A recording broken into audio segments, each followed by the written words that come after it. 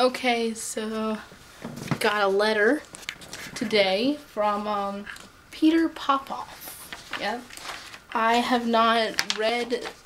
Well, I've read some of the letter just because I had to have a laugh. Um, came with, of course, a business reply because they want you to send him money. money. And a pink envelope that says, uh, basically, do not open until you read my letter. It says, Dear Jesus, I pray that Jamie will not open this just as you told me before she reads my anointed. I know you are watching her as she opens this. After she reads my anointed letter, when she opens this, let your eight angels watch over her and help her to answer this letter and obey just as you told us to. Yeah. Um. Wow. Alright, so I'm going to read you the letter, and we're going to do this together. Jamie, it was about 12 midnight. I was awakened, and it was almost like you were standing by me. The room we were in was filled with broken things. A broken phone. The spirit said, This means something. I saw a broken ring, a broken lock, a broken watch, a broken plate, a broken TV, broken eyeglasses. I can't reveal the eighth item until you read this letter. Wow. We both were looking through this window at something beautiful. It's all in the sealed envelope sealed envelope. But don't open it now. I've sold the pink envelope with a golden seal because inside are some things that will open up golden moments of blessing and mighty miracles. Whatever you do, do not, I repeat, do not open it now. The obedient shall eat the good of the land. And he's using Bible verses, of course, because that makes him seem biblical. Using Bible verses does not make you biblical. Um, Inside the pink envelope is the number 8, and spiritually interpreted, it means new beginnings. And a special Deuteronomy 111 thousand-fold bracelet. Also, according to 1 Corinthians 14 6, where Paul said, I should speak to you in the revelations and knowledge. There is also the revelation of eight things that God showed me. However, do not, do not break this golden seal now. Find a quiet place to finish reading this prophetic utterance from God. If you have to go into your bedroom or bathroom and close the door, please do so. We've done that, but not for the purpose that he thinks we're doing it. Alright, gotta move the letter up. Wow. Okay. I see through the spiritual insight God has anointed me with as his prophet. You and your loved ones, Jamie, are going to benefit greatly from the revelation inside the pink envelope sealed with the golden seal. I just want to point out right now that this is all a bunch of bunk. I don't believe this. And I think it's very stupid. And I think it's very wrong to do what he is doing. I'm, I'm not even going to finish reading this. Like, out loud at least. Um, oh, except for the bottom. The hair is standing up on the back of my neck as the Spirit anoints my eyes to see a date and God said this date was ordained by him, and it is a date with your destiny. As you continue on in what he established on that date, God's power will overcome all the bad things in your life. Over. Goody, there's more back. Oh, this talks about the eight things that he supposedly saw. February 1st. This date, Jamie, this date keeps come to, coming to me. February 1st. That's today. What do you know? Uh, do you feel something good is going to happen by this date next year? Well, no.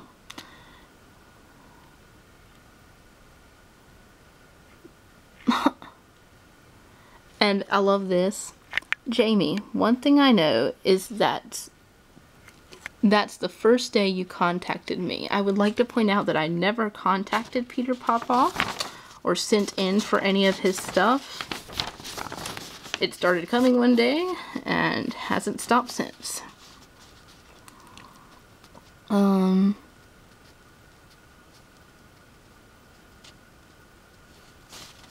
basically all of his stuff is all of these prophetic messages could apply to anybody right now and it's kind of ticking me off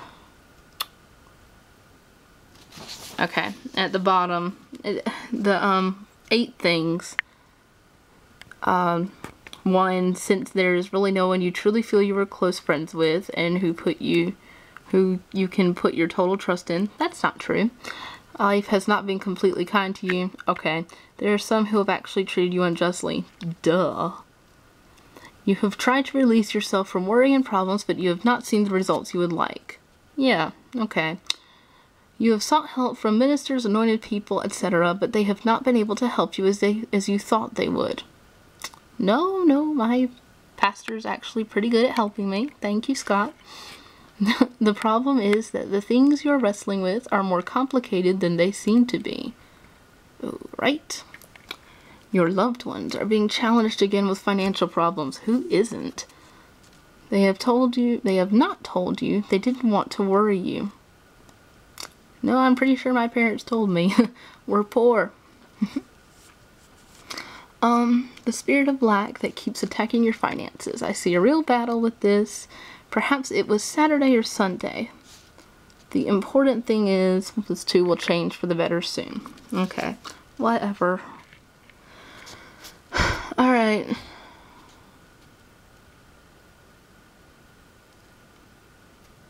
And then I guess number seven is saying there's a person heavy on your heart. You are burdened about this person. So yeah, apparently I have a crush on somebody or something. I guess that's what that says.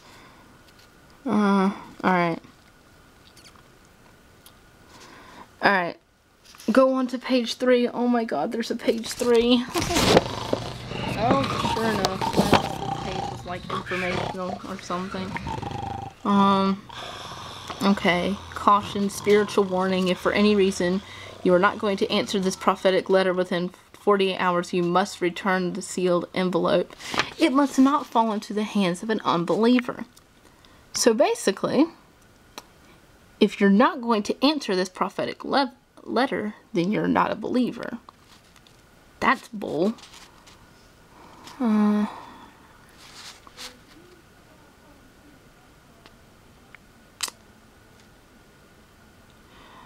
Spoke to me to pray over something special that I had to place inside the sealed envelope, and you must use it as I tell you, and then get it back to me in the morning or as soon as possible. Praise God for that word. And he basically supposedly gives me a message that God has given to him to give to me. I'm not even going to read it because I know that it's not true. And I don't do blasphemy. Um, now let's open God's storehouse. So I guess that means I can open the pink envelope with the golden seal. Okay, gonna break that seal. Grr. Oh, okay. oh my gosh, it's more letter with blue underlining stuff. Is there anything else in here? Oh, yeah. A letter 8. It's made out of that recycled paper stuff. That's kind of creepy. And it has $1,000, $1,000, 1000 I don't know if you can see that, $1,000. And it's basically like those little paper gum chains, I guess.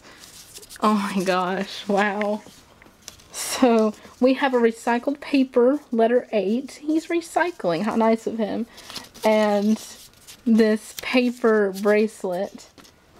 Um, oh, and look, this is where he asks us for money. Um, uh, I sense you and your loved ones need a quick touch. In Jesus' name, check below and let me know what you and your loved ones need.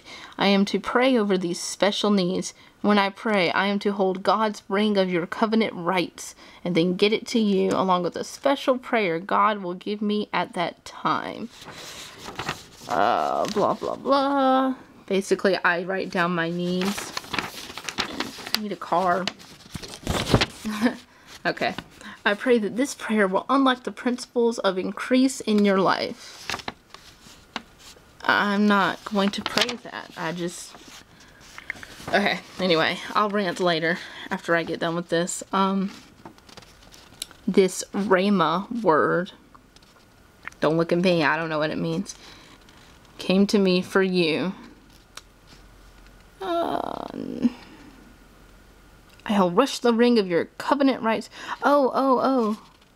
Wait, wait. Where's the part where he asks for money? Now celebrate and put into action God's principles for supernatural increase. Return your seed gift. Seed gift? What's my seed gift? Is that the money? Fold it inside this letter. Get the bracelet back to me and make sure you check your needs above. Don't let Satan talk you out of sowing this $28 seed of new beginnings. I'll rush the ring of your covenant rights to you with godly instructions to shake loose all you need. Oy vey. I'm not going to send this back. And uh, I think it would be very sad if I didn't keep getting this stuff so that I could show you what a bunch of bunk it is, but I am certainly not going to send back $28 seed gift. So here's the thing. Peter Popoff is a proven scam artist. He has been proven to be fake. It's obvious. They have caught him and yet he's still out there doing this. Okay? So here's what I'm going to do we're going to take this, this sticky gum chain bracelet. I want to know why he wants it back.